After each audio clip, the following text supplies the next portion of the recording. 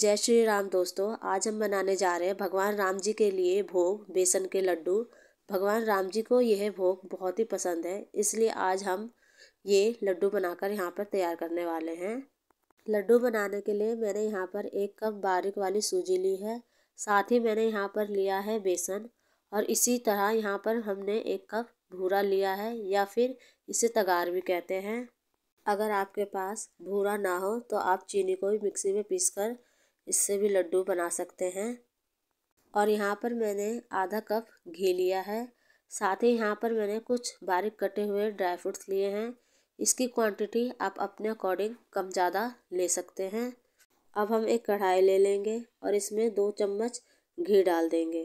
घी जब अच्छे से गर्म हो जाए तो इसमें हम सूजी को भी डाल देंगे और इसे धीमी आँच पर भून लेंगे।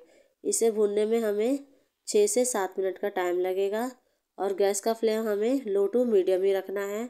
सूजी और बेसन को हम अलग अलग भुनेंगे क्योंकि सूजी जो है बहुत जल्दी भुन जाती है और बेसन को पकने में टाइम लगता है, इसलिए हम अलग अलग ही दोनों को भूनेंगे। देख सकते हैं सूजी का कलर जो है चेंज होने लग गया है तो अब इसे हम एक प्लेट में ट्रांसफ़र कर लेंगे। तो यहाँ पे मैं इस तरीके से प्लेट में ट्रांसफ़र कर रही हूँ। अब हम उसी कढ़ाई में घी डालेंगे। घी हम एक साथ इस्तेमाल नहीं करेंगे थोड़ा थोड़ा डालेंगे। यहाँ पर मैंने चार चम्मच घी डाल दिया है। गैस का फ्लेम हमें लो ही रखना है और अब हम इसमें बेसन डाल देंगे। शुरू शुरू में क्या होता है, घी हमें कम लगता है और हम ज़्यादा डाल देते हैं। जब बाद में बेसन सिक जाता है तो वह घी छोड़ देता है और फिर हम जब लड्डू बनाते हैं तो वह लड्डुओं का सेप नहीं लेते हैं और लड्डू में क्रैक आते हैं। इस कारण जो लड्डू है हमारा अच्छा नहीं बनता है। इसमें हम थोड़ा थोड़ा घी डाल के बीच बीच में भूनते रहेंगे। इसे हम कंटिन्यूसली चलाते हुए भूनते रहेंगे। इसमें थोड़ा मेहनत लगता है, लेकिन लड्डू जो है बहुत ही स्वादिष्ट और बहुत ही टेस्टी बन के तैयार होता है। अब देख सकते हैं, बेसन का जो कलर है धीरे धीरे चेंज होने लग गया है। देख सकते हैं, बेसन से जो है घी निकलना शुरू हो गया है। इसको हम थोड़ी देर और भून लेंगे, थोड़ा और कलर चेंज होने तक भूनेंगे। मैंने यहाँ पे बारीक वाली सूजी का यूज़ किया है। आप चाहे तो मोटी वाली सूजी का भी लड्डू बना सकते हैं, लेकिन उससे पहले आप मिक्सी में पीस लीजिए। बारीक सूजी से क्या होता है, लड्डू जो होते हैं बहुत ही टेस्टी बन के तैयार होते हैं।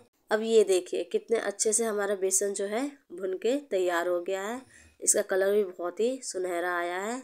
अब इसी स्टेज पे हम कटे हुए ड्राई फ्रूट्स को भी डाल देंगे। और इसे लगातार चलाते हुए दो से तीन मिनट के लिए भून लेंगे। अब हम इसमें भुना हुआ सूजी भी ऐड कर देंगे और इसे लगातार चलाते हुए अच्छे से मिक्स कर लेंगे।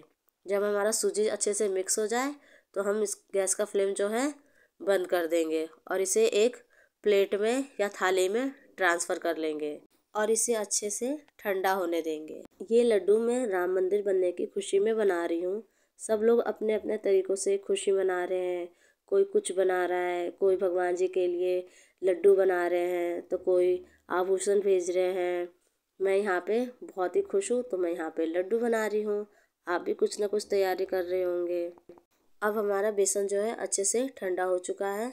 अब इसमें हम डाल देंगे भूरा और साथ ही डालेंगे एक छोटी चम्मच इलायची पाउडर। इलायची पाउडर डालने से लड्डू का टेस्ट और खुशबू दोनों ही बहुत ही बढ़िया आते हैं। अब इसे अच्छे से मिक्स कर लेंगे। ध्यान रहे फ्रेंड्स भूरा हमें तभी ऐड करना है जब हमारा बेसन जो है अच्छे से ठंडा हो जाएगा। नहीं तो वरना क्या होगा, गर्म में ही अगर हम भूरा को ऐड करेंगे तो जो बेसन का मिक्सर है वो पिघलने लगता है और लड्डू जो है अच्छे नहीं बनते हैं।